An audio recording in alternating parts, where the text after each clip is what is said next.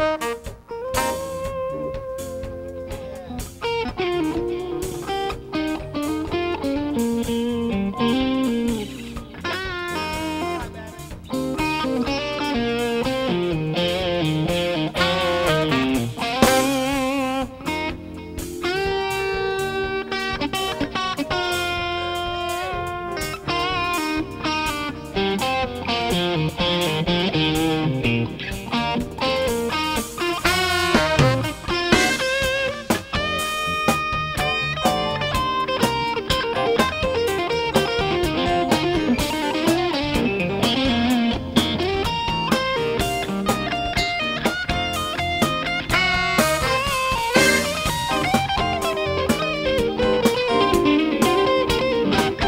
This is Mr. Eric Clack on the guitar. Give him some.